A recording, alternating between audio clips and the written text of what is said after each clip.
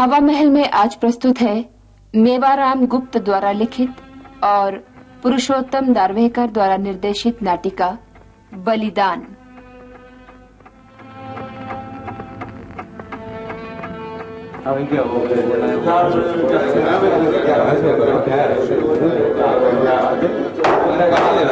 Order order तेरा नाम क्या है? मेरा नाम आज़ाद है। और तेरे बाप का नाम? स्वाधीन। तेरी जाति? भारती तेरा घर जेल खाना तुझे मालूम है कि तू किसकी अदालत में खड़ा है? एक गुलाम की अदालत में। क्या? तूने अपने आप को आज़ाद और मुझे गुलाम बताया? ठीक बताया। तुझे मालूम हो कि तू बनारस के फ़र्स्ट क्लास मजिस्ट्रेट खरे घाट की अदालत में खड़ा है जो किसी को माफ़ नहीं करता। परवाह नहीं। देख तेरी उम्र पढ़ने लिखने की है। जेल जाने से तेरी ज़िंदगी खराब हो जाएगी। फिर क्या करूँ? माफ़ी मांग ले। किस बात की? तूने सत्याग्रह आंदोलन में भाग लिया है बगावत का झंडा उठाया है गांधी जी की जय बोली है यह जुर्म है या बगावत है। अरे बगावत मेरा पेशा है और माफ़ी मांगना मैं जानता नहीं। अच्छा तो तू पेशेवर बागी है और जेल जाने से भी नहीं डरता।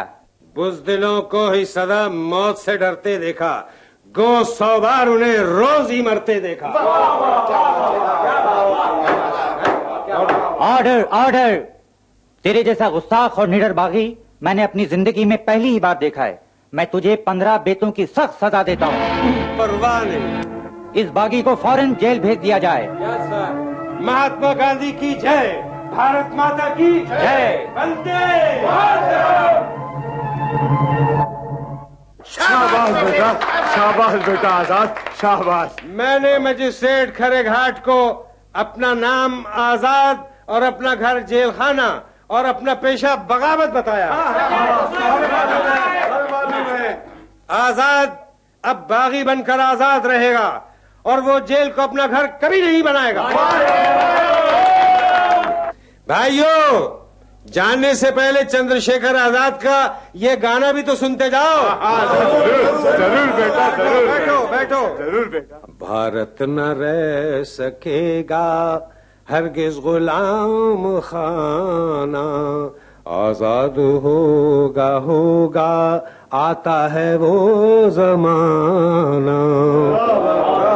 खोलने लगा है हिंदुस्तानियों का इस पस्त हिम्मती का होगा कहाँ ठिकाना। इस पस्त हिम्मती का यूँ बेजुबान बनकर खामोश ना रहेंगे। कर देंगे जालिमों का सब बंद जुल्म ढाना। परवाह किसे है इस जेल और दमन की? एक खेल हो गया है, फांसी पे झूल जाना। एक खेल हो गया है, कौमी तिरंगे झंडे पर दिल फिदा है अपना। भारत निवासी सारे गाते हैं ये तराना। भारत निवासी सारे भारत के हम हैं बच्चे, भारत वतन हमारा। भारत के वास्ते है मंजूर सर कटाना। के वास्ते है मंजूर सर कटाना।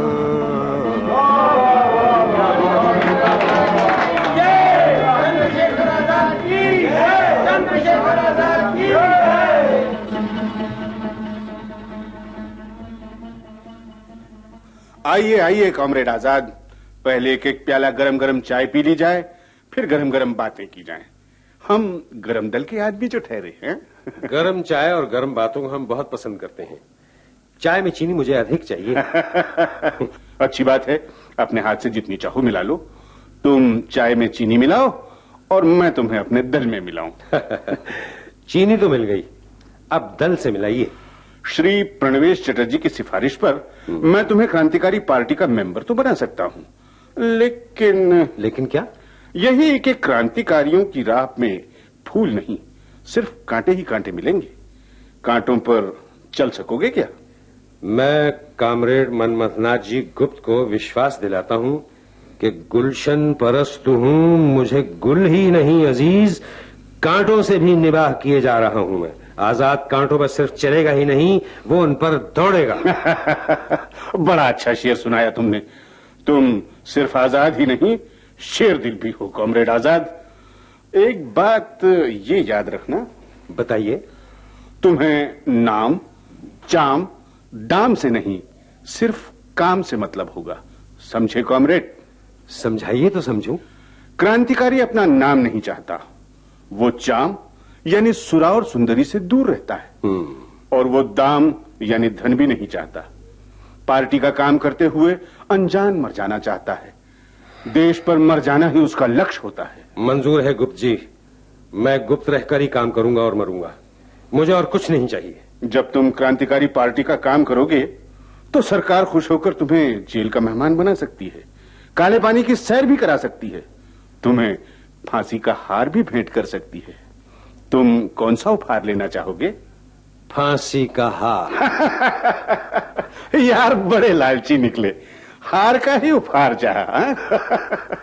शहीद होकर सीधे स्वर्ग जाना चाहते होगे हैं? शायर ने ठीक ही कहा है।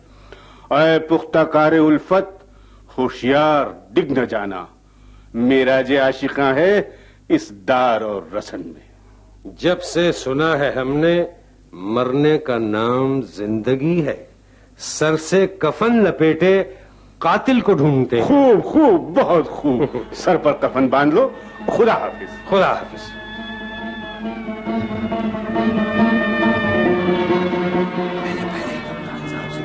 Hello you Hello. Hello hello Pandit Vishwambharnath good morning sir good morning and you are also here you Thakur Vishweshwar Singh Hello, sir. Good morning. Morning कोई न्यूज़ नया खबर कुछ है?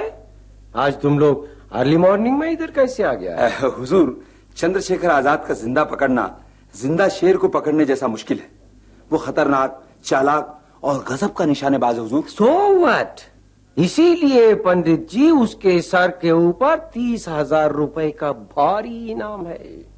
पंडित तुम उसे मुर्दा ही पकड़ कर ले आते तो भी हम तुमको तीस हज़ार रुपए का इनाम दे देता कप्तान साहब ने ये बात खूब कही लेकिन हुजूर वो अपनी जगह पर मिलता ही कब है पता नहीं उसे हम लोगों की गंध कहाँ से मिल जाती है वो उसका गरम बिस्तर तक मिलता है मगर वही नहीं मिलता I know, my boys, I know that. He is a very cunning and uh, very quick.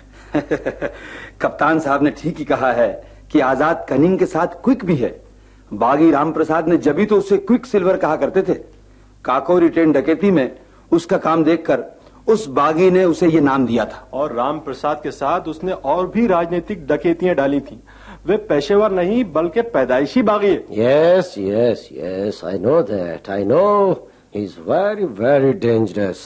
I know that, my boys. You see, सन 1925 में काकोरी केस हुआ था यू रिमेम्बर और yes. आज 27 फरवरी 1931 हो गया है वो अब तक गिरफ़्तार नहीं हो सका है। दो दर्जन से भी ज़्यादा हमारे गिरफ्तारी के वारंटों को उसने झुटला दिया है। I know that he is he is a devil I tell you my boys हुजूर हुजूर यूपी की पुलिस उसे पकड़ने में नाकाम रही ऐसी बात नहीं। उसे तो पंजाब की पुलिस भी नहीं पकड़ सकी उसने 17 दिसंबर 1928 को लाहौर पुलिस के कप्तान जेपी सैंडर्स तक को कत्ल करवा डाला था यस आई नो और हुजूर गौर करें 30 अक्टूबर 1928 को साइमन कमीशन लाहौर पहुँचता है यस yes. लाला लजपत राय जुलूस लेकर उसे काले झंडे दिखाते हैं यस yes. सॉन्डर्स उन्हें लाठियों से घायल कराते हैं यस yes. लाला जी 17 नवंबर को मारे जाते हैं और ठीक 17 दिसंबर को आज़ाद भगत सिंह सुखदेव और राजगुरु के हाथों उन्हें कत्ल करा देता है। या आई नो इट ये भी तो इंस्पेक्टर साहब बताइए कि इसके बाद ही ठीक 8 अप्रैल उन्नीस को आज़ाद दिल्ली असेंबली में भगत सिंह और बटकेश्वर दत्त के हाथों दो बम छुड़वा देता है। यस दोनों गिरफ़्तार होकर रह जाते हैं। हाँ। लेकिन आज़ाद मौके से गायब हो जाता है। पंजाब की पुलिस तापती रह जाती है कप्तान साहब। What do you mean, Pandit? What do you mean by all this? You mean कि पंजाब की पुलिस की तरह यूपी की पुलिस भी खतरनाक बागी को पकड़ने में नाकाम रहेगी? What डू यू मीन और हमारा ये इलाहाबाद में आकर घेरा डालना यूजलेस हो जाएगा। कप्तान साहब नाट बाबर को निराश होने की आवश्यकता नहीं।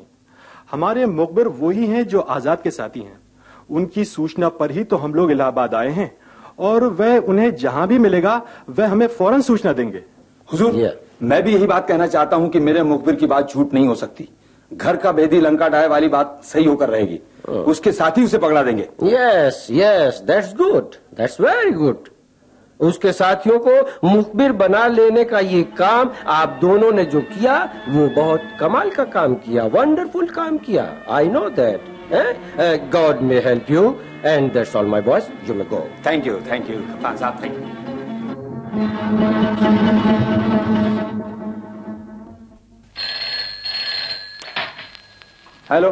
hello, मैं पंडित शंभुनाथ ही बोल रहा हूँ। हेलो, कौन? क्या कहा? अरे जरा ज़ोर से बोलिए, कुछ सुनाई नहीं दे रहा। हेलो, अरे अच्छा आप ही हैं? क्या खबर है? कुछ पता चला? क्या कहा? साथी के साथ अल्फ्रेड पार्क में? बस अभी आया। फतेह, आज फतेह। अय 27 फरवरी 1921 तेरी ही तो राह देख रहा था मैं। ड्राइवर ड्राइवर, मोटरसाइकिल निकालो। जल्दी, क्विक। चलो, अल्फ्रेड पार्क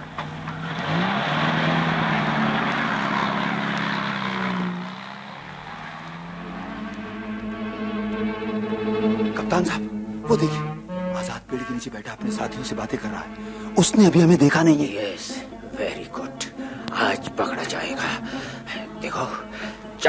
चारों से पार को घेर लो। Hurry up and be cautious everybody get away ठीक है हुजूर। आप पेड़ के पीछे से फायर करें। Yes you get away Azad! कप्तान नाथ बाबर आपकी पिस्तौल से तुझे अब वेलकम करता है? पुलिस? राज? भाग के भाग। My lord very good very good लगता है मर गया। वंडरफुल शॉट हथियार डाल दो कमीने वरना तुझे अभी खत्म किया देता हूँ। तू भोग भोग का मुझे डराना चाहता है। मुँह बंद कर।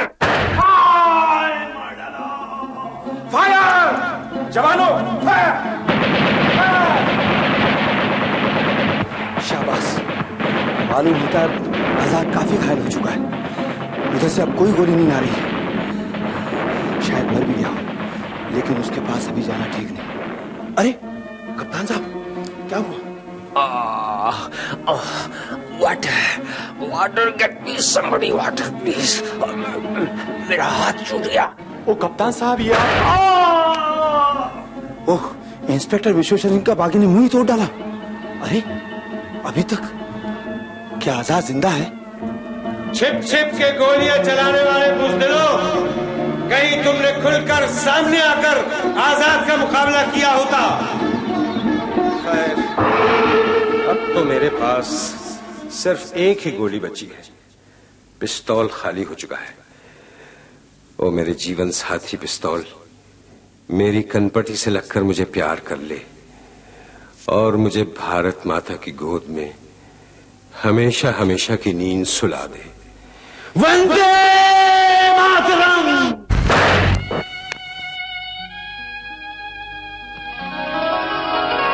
बलिदान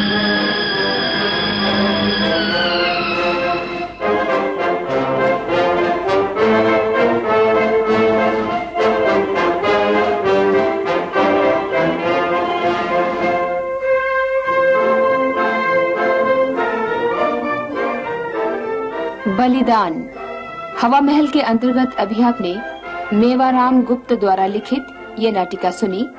कलाकार थे G M Durrani, Vinu Mahendra, Syed Ahmad Ali, M L Gaur, Govind Sharma, Kamalakar Date और राज जोशी। ध्वनि संयोजक मनोहर सावे और प्रस्तुतकर्ता पुरुषोत्तम दारवेकर